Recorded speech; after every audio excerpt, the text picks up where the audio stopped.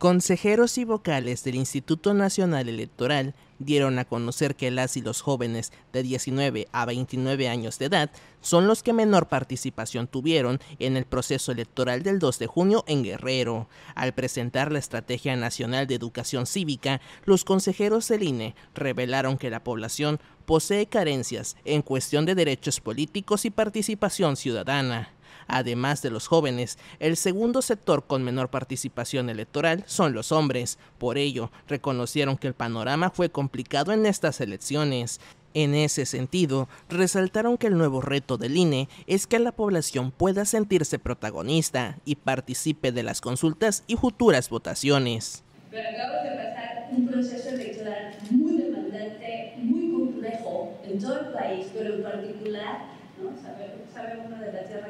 las complejidades que Guerrero ha tenido, que la idea es que su encívica, que cada quien lo vemos como nuestra encívica, ¿cómo vamos a hacer que, que cada persona se considere protagonista?